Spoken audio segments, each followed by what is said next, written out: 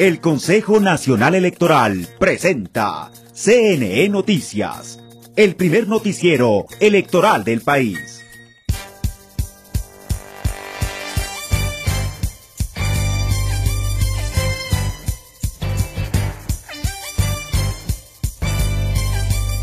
Es un gusto compartir una semana más junto a ustedes. En estos 30 minutos haremos un recorrido por información que ustedes como ciudadanos deben de conocer. Esto es CNE Noticias. Los dejamos con los titulares. CNE realizó primer simulacro inclusivo a nivel nacional. 303 recintos electorales probaron el sistema de conteo rápido de votos. Policía Nacional participará en la campaña Tienen derecho a votar.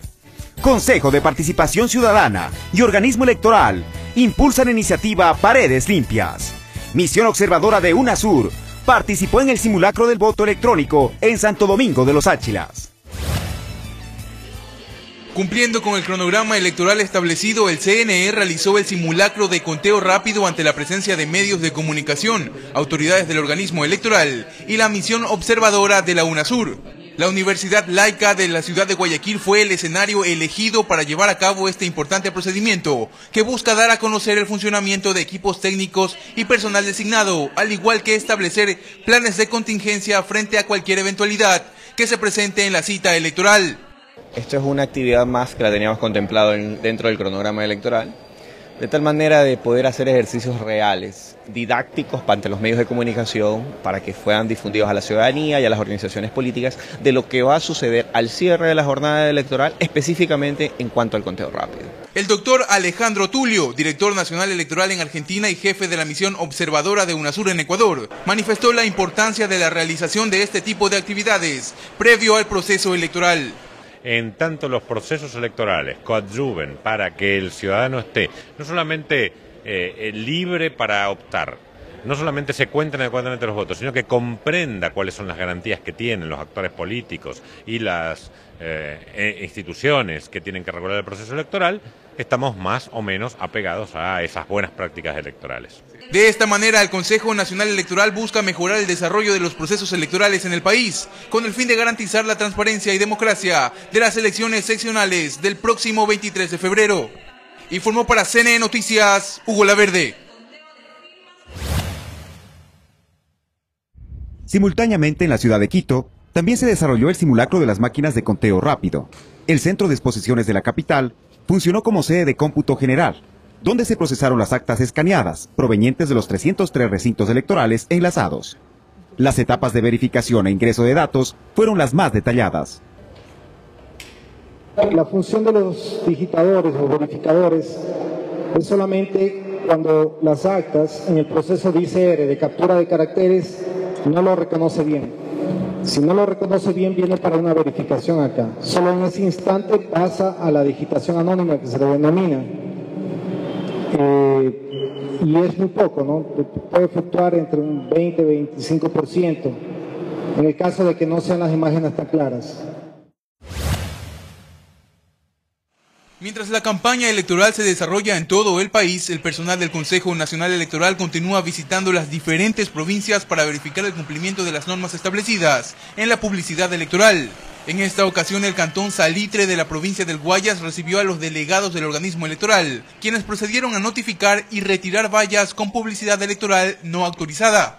La ley establece que para hacer publicidad en vallas, en cuñas radiales, cuñas televisivas, y en publicidad en prensa se debe tener autorización expresa del CNE.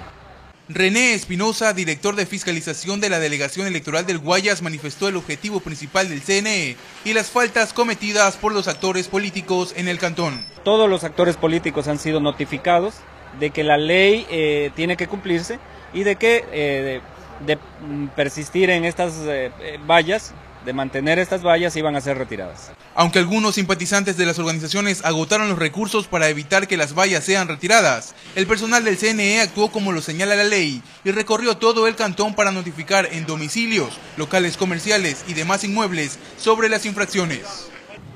El personal del Consejo Nacional Electoral continuará realizando los operativos de fiscalización en todos los cantones de la provincia de Guayas. Estos operativos tienen como objetivo principal garantizar el cumplimiento de lo estipulado en el Código de la Democracia. Informó para CNE Noticias, Hugo La Verde.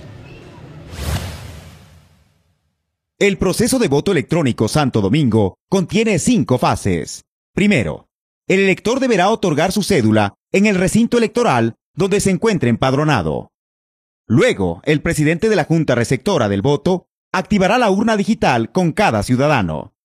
En un tercer momento, el elector deberá digitar su decisión en la pantalla digital de las urnas electrónicas, para luego proceder a verificar e imprimir el comprobante de sufragio digital. Solo en este momento, depositará el papel en la urna física, con lo que finalmente podrá firmar el padrón electoral y recibir su certificado de votación.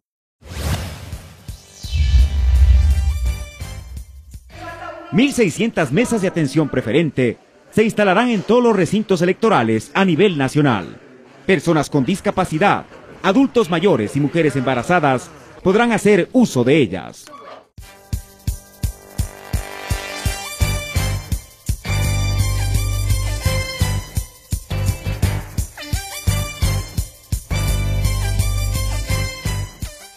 La primera vez que voté en mi natal llamada Cuenca fue en los 60. Desde entonces voté siempre acostumbrado a esa cantidad de papeletas. Pero ahora de verdad estoy impresionado con estas nuevas máquinas. Solo tienes que capacitarte un poco. Votas con el dedo y listo. En las próximas elecciones, Azuaita un paso más hacia la democracia del futuro. El voto electrónico es un mecanismo sencillo, seguro y transparente que agilitará el proceso de votación. Capacítate. Consejo Nacional Electoral.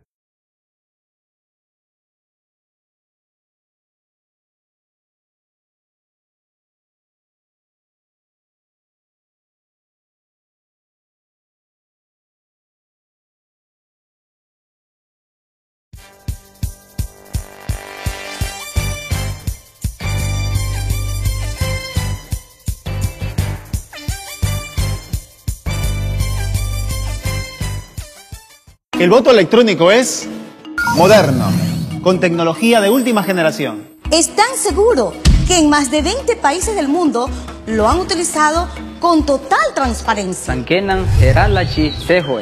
Duque Pilar Larino Estochunae.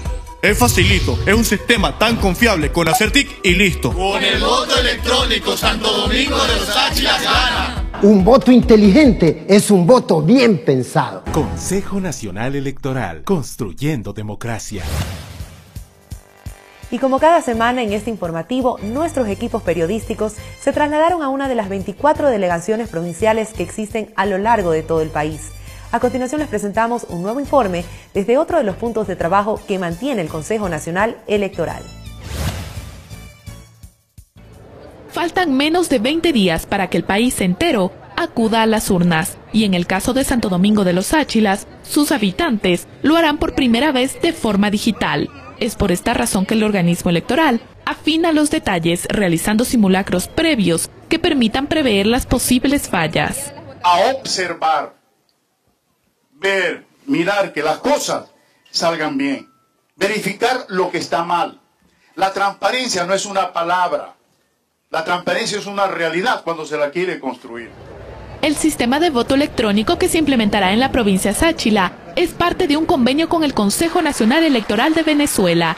De ahí que su presidenta Tibisay Lucena aprovechó su visita al país para conocer cómo se aplicará el sistema venezolano en el Ecuador. Un sistema electoral seguro, confiable, eh, muy robusto y especialmente muy rápido y muy sencillo para utilizar. El simulacro involucró a 30 recintos electorales y 120 urnas electrónicas. Se probaron las diferentes etapas del proceso, desde la votación hasta el conteo de los escrutinios. Vamos a hacer una comparación del 100% de los comprobantes de votación demostrando a las organizaciones políticas, a los observadores nacionales e internacionales y sobre todo a la ciudadanía que por sobre todas las cosas hemos hecho respetar la voluntad popular expresada a través del sufragio. Al final no existieron mayores inconvenientes en la parte técnica y el vicepresidente del CNE, Paul Salazar, aseguró que estas experiencias permitirán desarrollar un sistema propio en el futuro. El Consejo Nacional Electoral tiene previsto realizar el tercer y último simulacro del voto electrónico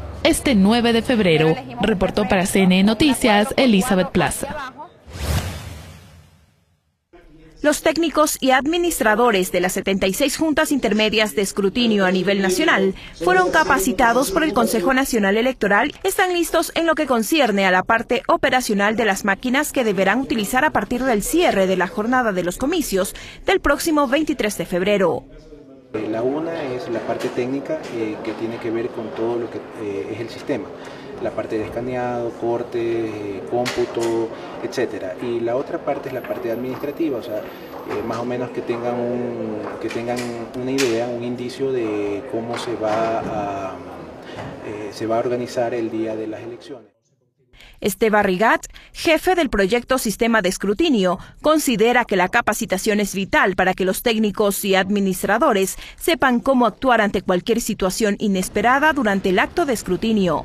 Y bueno, comparado con el año pasado, ahora el sistema es más sencillo y más, más esperamos que haya menos incidencias, pero en cualquier caso los estamos capacitando para eso.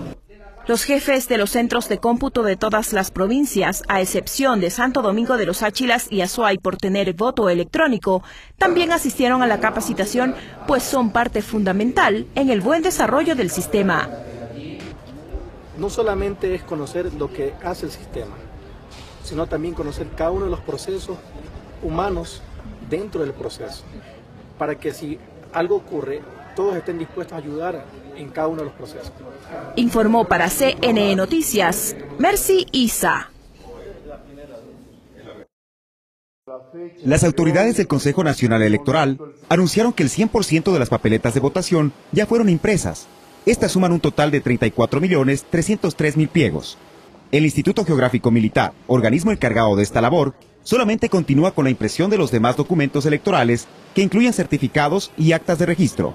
Toda la papelería está siendo trasladada a las bodegas de Semexpo, desde donde comenzará su repartición a nivel nacional. En esta ocasión, el Consejo Nacional Electoral saluda a la localidad de Penipe en la provincia de Chimborazo con motivo de sus 30 años de cantonización. También conocido como el pueblo de la solidaridad, Penipe alberga a más de 6.000 habitantes que con su trabajo y esfuerzo hacen de este cantón un lugar próspero de la agricultura ecuatoriana. Si usted aún no conoce su lugar de votación, puede enviar un mensaje de texto al 150 con su número de cédula e inmediatamente recibirá la respuesta sin costo alguno.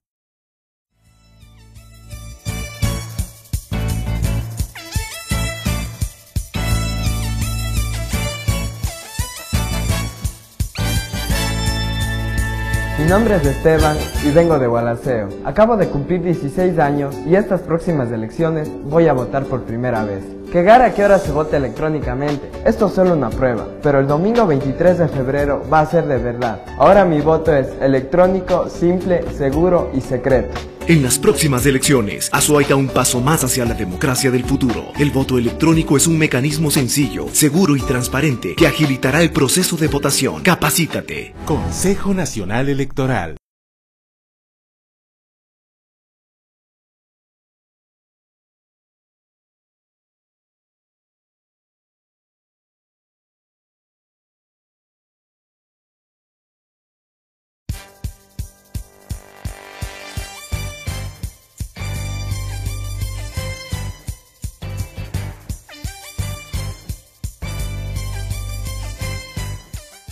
El voto electrónico es moderno, con tecnología de última generación. Es tan seguro que en más de 20 países del mundo lo han utilizado con total transparencia. Sankenan Heralachi Sejoe, Duque Pilar Larino Etochunae.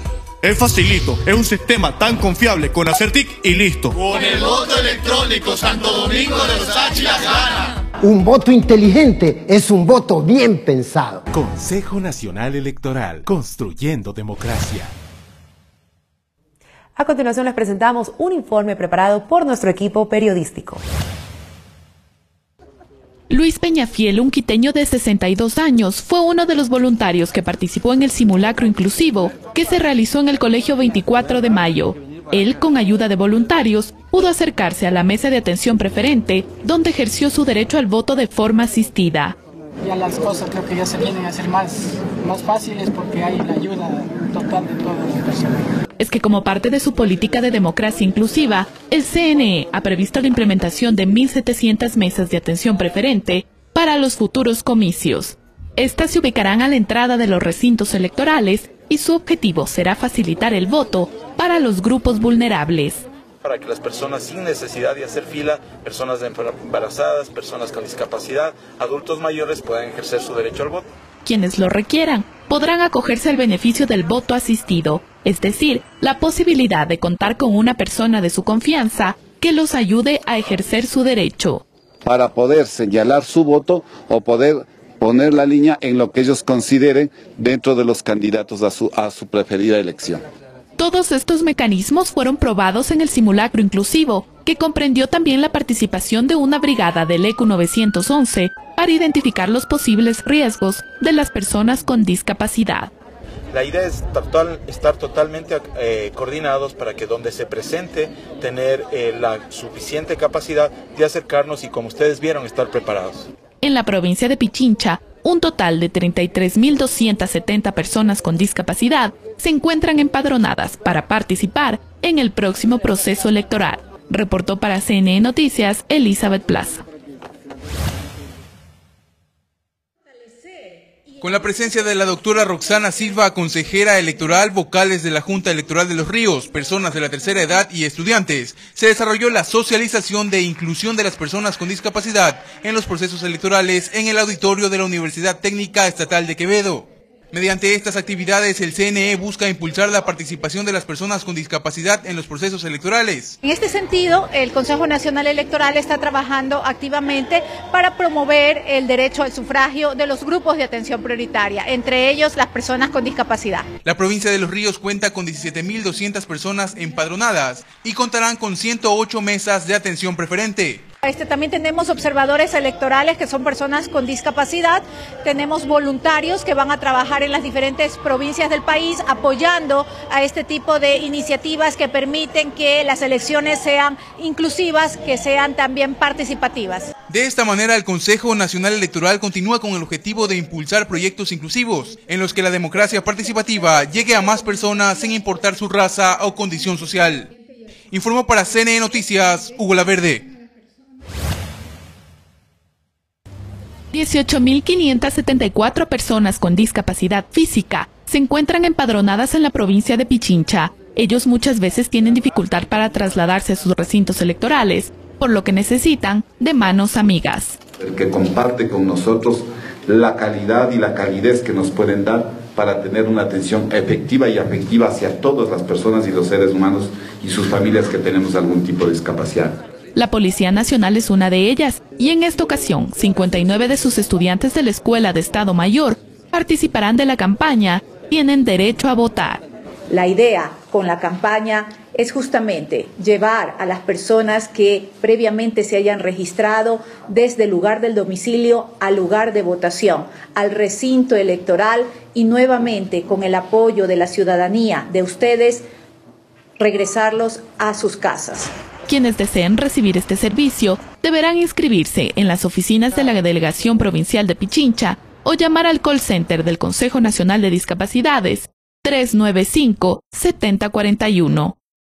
Usted deberá proporcionar la información como su nombre completo, su dirección, su número de cédula y su correo electrónico, pues una semana previa a las elecciones recibirá la notificación a su mail del registro realizado. El próximo 23 de febrero podrán recibir la atención completa.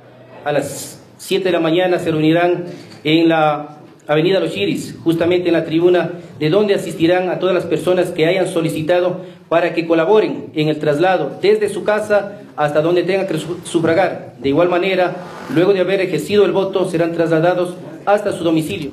El servicio no tendrá costo alguno y asimismo quienes deseen colaborar con sus vehículos o como acompañantes podrán realizarlo, tan solo presentándose en la tribuna de los Shiris, usando un jean y camiseta blanca como distintivo. Para ver un cambio en el Ecuador, para ver un cambio, para ver eh, algo más incluyente para las personas con discapacidad. Todos los voluntarios de la campaña tienen derecho a votar, deberán capacitarse previamente a través del portal web www www.gestionecuador.org. Reportó para CNN Noticias Elizabeth Plaza.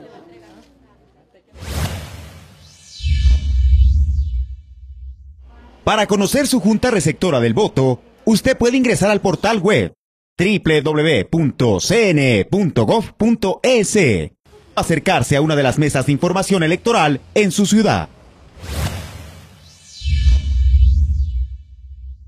El portal web www.vototransparente.es está a la disposición de la ciudadanía para conocer todos sus derechos políticos y los distintos programas de inclusión que impulsa el CNE. Los miembros activos de las Fuerzas Armadas y Policía Nacional podrán ejercer su derecho al voto en las próximas elecciones. Solo deberán portar cédula de ciudadanía y credencial de votación.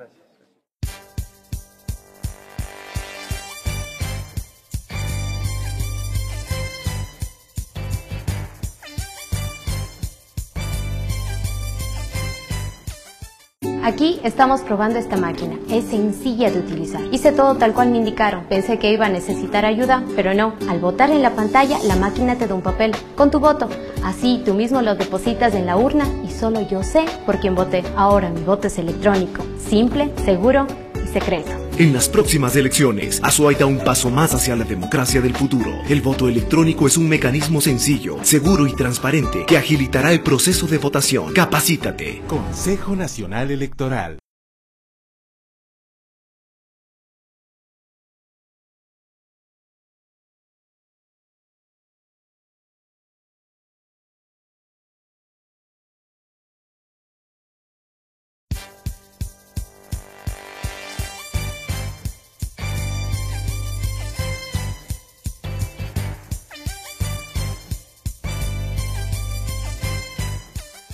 El voto electrónico es moderno, con tecnología de última generación. Es tan seguro que en más de 20 países del mundo lo han utilizado con total transparencia. Sankenan heralachi sejoe.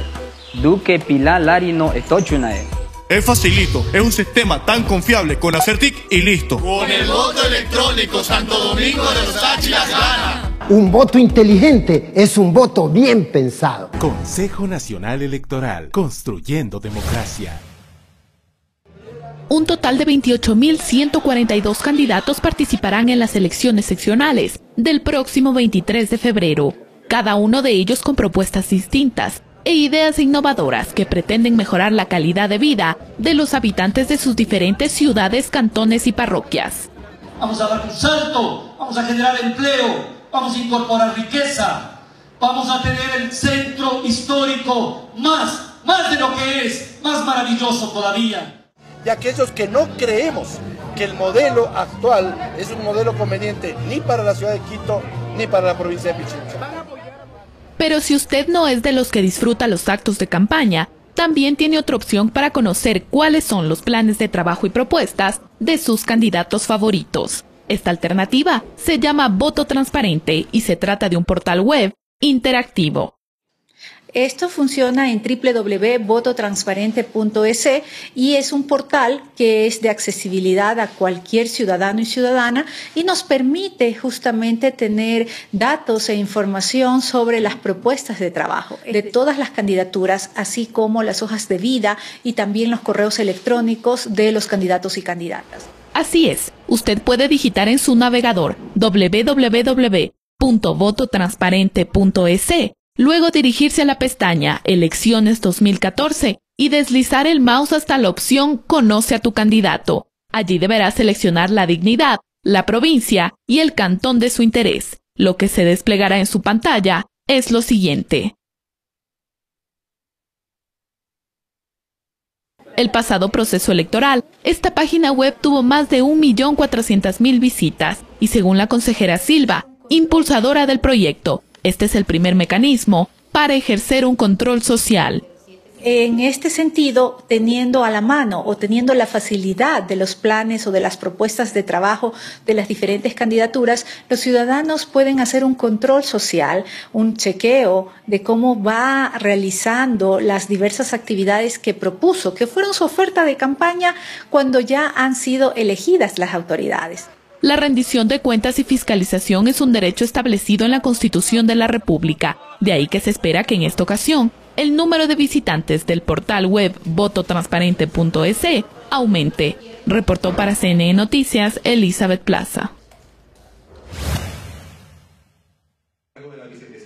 En las instalaciones del Consejo de Participación Ciudadana y Control Social de la ciudad de Guayaquil se llevó a cabo el lanzamiento de la campaña Paredes Limpias, Candidatos Honestos donde la consejera Nubia Villasís y demás autoridades de la función electoral se hicieron presentes para dar inicio a esta destacable iniciativa. Esta campaña pretende que los espacios públicos y bienes patrimoniales no sean objeto de contaminación visual por parte de los candidatos que participan en los procesos electorales. Es importante incentivar este tipo de iniciativas eh, como desde el Consejo Nacional Electoral, mejor dicho, desde la función electoral, apoyarlas porque va en beneficio de nuestro sistema político electoral.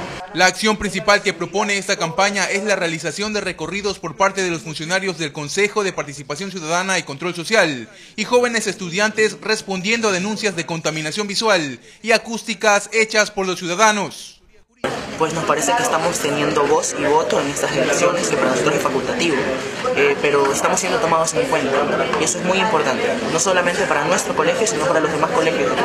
La campaña ha sido lanzada en 10 provincias del país, la misma que hace un llamado a vivir estas elecciones en paz, mediante una campaña consciente y respetuosa. Informó para CNE Noticias, Hugo Laverde.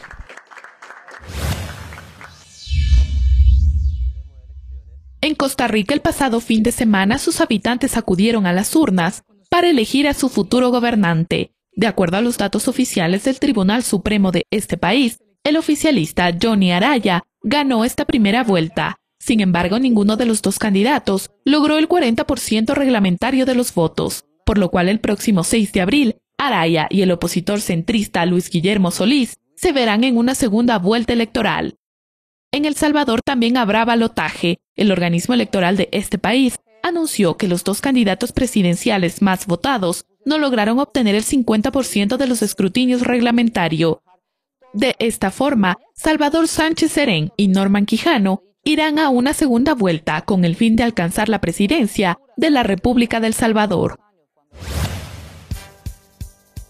Gracias por habernos acompañado en estos 30 minutos informativos. A continuación los dejamos con un recuento de las noticias más destacadas. Esto es CNE Noticias.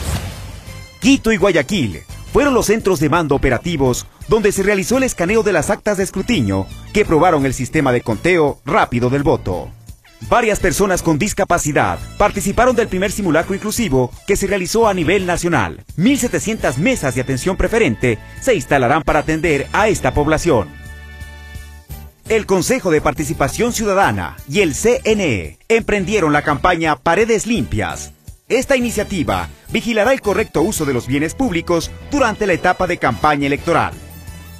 En Santo Domingo de los Áchilas se probó por segunda ocasión el sistema de voto electrónico. La misión observadora electoral de UNASUR participó de este simulacro provincial.